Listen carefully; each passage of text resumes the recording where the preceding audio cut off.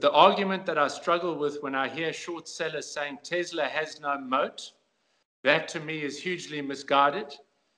If they achieve the metrics that they can with this battery technology on September 22nd, that's one hell of a moat. Battery Day is soon approaching, and I've got Rodney Hooper from RK Equity to give us some interesting perspectives on what to look out for.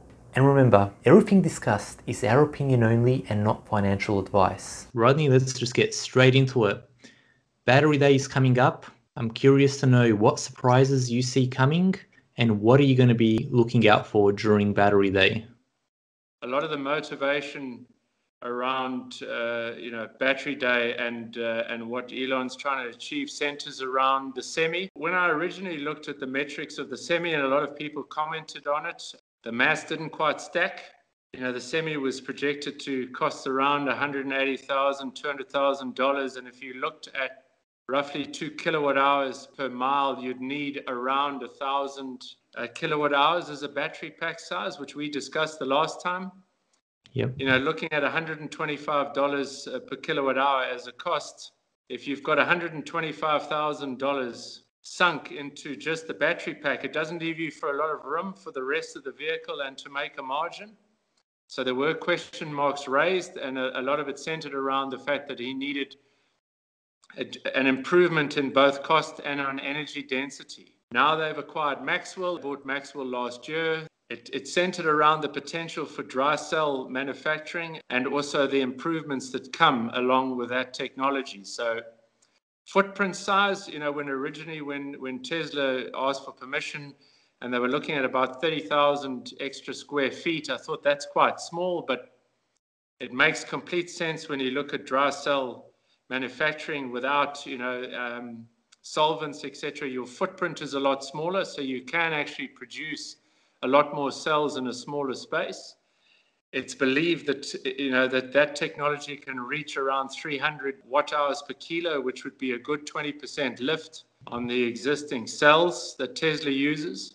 And then we're talking about cost savings of 10 to 20% on top of that. And suddenly, if you can do that at $100 per kilowatt hour at the pack level, suddenly you're only talking about 64,000 to $80,000 sunk into the battery pack of a semi, which now leaves you with a lot of margin potential to actually hit the 500 mile range and also allow for a margin. So it also plays into the uh, Cybertruck as well, you know, trying to get to, you know, cheaper Cybertruck with a reasonably sized battery pack. So this is hugely exciting. If, if, if it can be done, if we're talking about a 20% improvement in energy density and we're talking a 10 to 20% reduction in costs and a small footprint and speed at which you can manufacture the cells because it's done with dry cell technology, we really are talking about a game changer.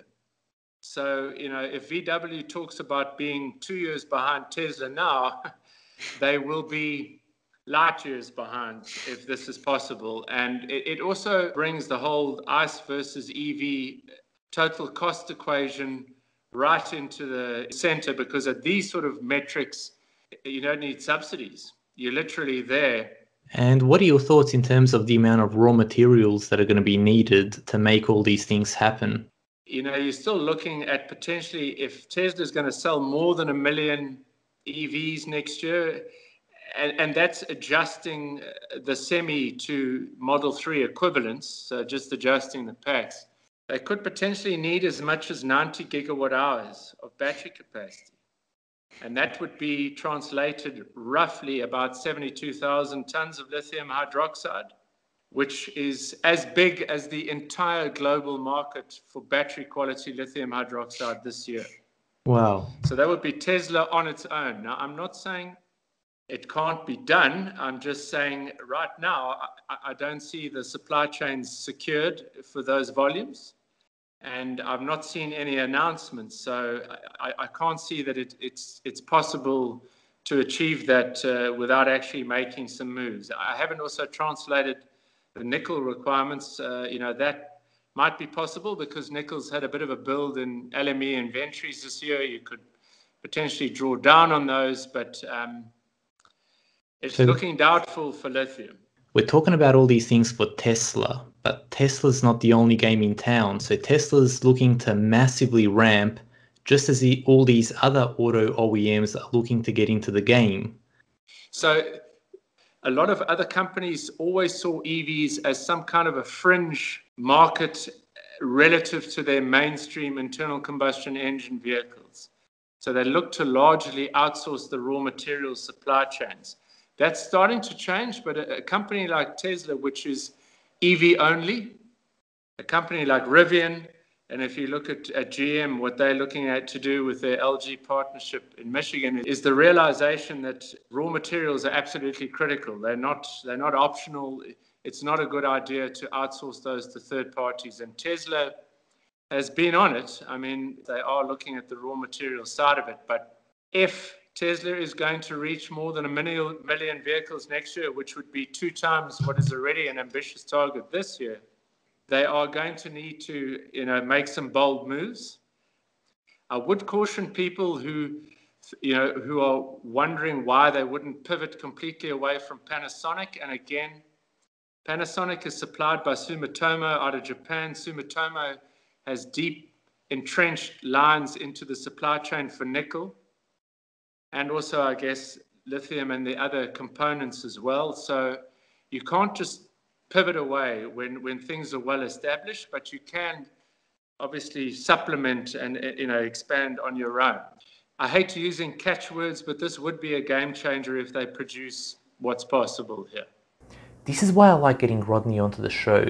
This perspective gives you an amazing insight into the Panasonic Tesla relationship and goes well beyond the usual headlines that get thrown around.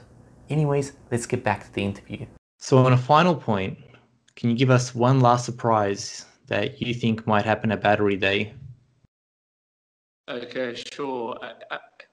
we know the ambition is for one terawatt hour by 2030, which is in itself insane. I mean, that's literally half of what we've got forecast in terms of battery capacity, uh, you know, at that date. Is there's been radio silence on any material offtake agreements in the supply chain. We know we're looking at them. And that's missing, and it's a central ingredient. So there could be a surprise. They could actually substantiate to the market yes, we've got the technology. Here it is. This is what's possible. And now this is how we're going to ensure that you know our supply chain is is airtight and how we're going to make it happen.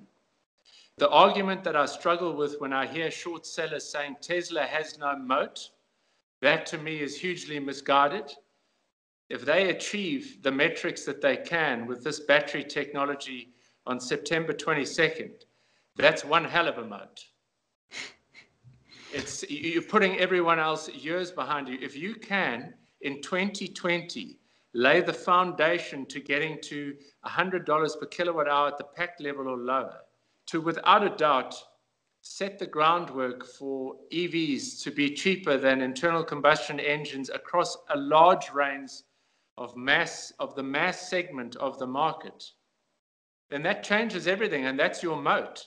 The other guys are outsourcing the cell technology. You know, there's a lot of noise being made about how, you know, the, the individual um, internal combustion engine, the auto OEMs are buying into different cell guys, but buying 3% and 10% and doing a JV is a long, long way from actually meeting the critical hurdles to making a competitive vehicle. So, you know, Europe, look, it's fantastic what they're doing. It's integrated. They're supporting mining, they're supporting cell manufacture, they're supporting vehicle production but it's still hugely reliant on subsidies. Europe is, you know, Germany is offering 9,000 euro subsidies. That's what's making them competitive, but those can't be there forever. The government will phase those out. They're likely to phase them out completely by 2025. But if Tesla can stand on its own two feet and do it now without subsidies, everything's going to change. All right, so maybe let's just wrap it up for the time being and let's maybe further discuss this after Battery Day. Yes, it's uh, it'll be it'll be uh, fantastic if we can uh, we can have something really positive to uh, report. Definitely. All right. Thanks again, and we'll talk soon. Thanks, Ivan. So I hope you guys enjoyed that discussion, and a huge shout out to Philip, Marek, G-Skype, and Kevin, along with all the other Patreons that make these episodes possible. So until next time, I'll see you guys soon.